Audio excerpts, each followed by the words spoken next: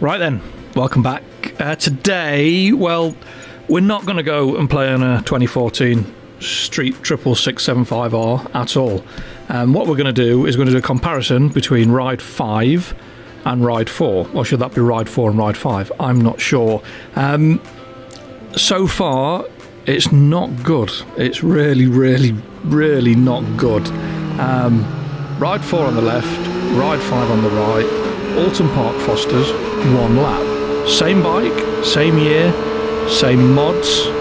However, they go about their business slightly differently.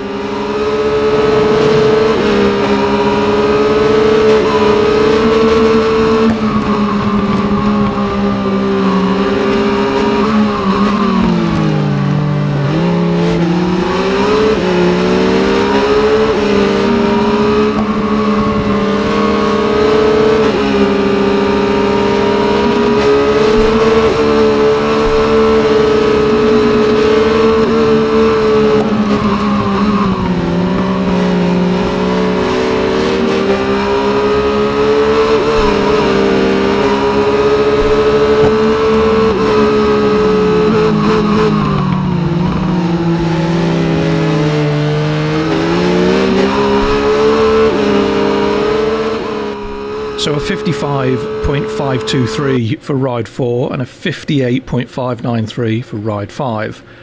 Same bikes, completely different ratings. The ride 5 bike is 88 performance points less than the bike on ride 4. Now they may have adjusted the scales because there's no or very few so far really low powered bikes like um, like 125s and 300s. Yeah, there's 250 250cc two strokes, but hmm, they're a little bit quicker, aren't they? Uh, even the replays.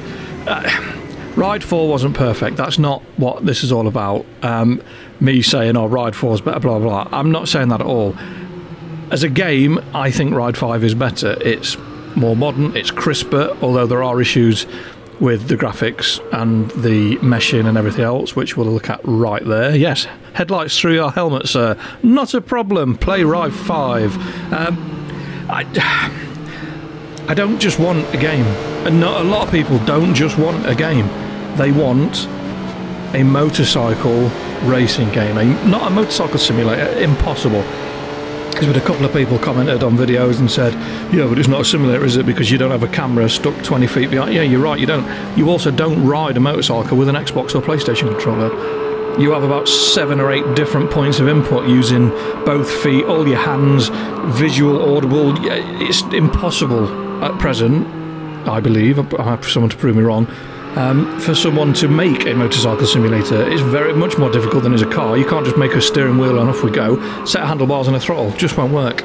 Um, even like the replays, Ride 4, it was just more authentic. You knew if somebody was pushing, you could see from the replay that that bike was on the absolute edge, and you knew that because of the feedback you get through the controller. Ride 5 doesn't do that absolutely does not do that. It is just a motorbike game. It's akin to Road Rash or any other the the crew or whatever other bike uh, games have got bikes in.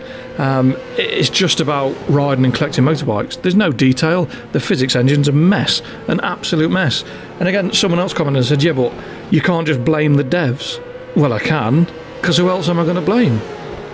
Who who else gets the blame for a shit game other than the developers? What the rabbits, the kittens, the Lannisters? No, the developers. All they've done is take a very good motorcycle game, remove every single thing about it that appealed to genuine motorcycle enthusiasts, and they've aimed it. And you know what I'm going to say? They've aimed it at YouTubers and fanboys. Look at this Ride 5, it's awesome. No, it's not, it's shit. £95, absolutely pissed down the drain that I'll never get back. Yes, I'm going to go into it. I, I can't. I, I wasted money on MotoGP 22. I wasted money on World Superbike, and I've not learned my lesson. I've bought another milestone game that's utter garbage. Um, it's just, it's just no good as a motorcycle game. As a game to play, absolutely not a problem. Not a problem at all. And but what's the difference? Well, would you rather play Ratchet and Clank, or would you rather play a proper shooter?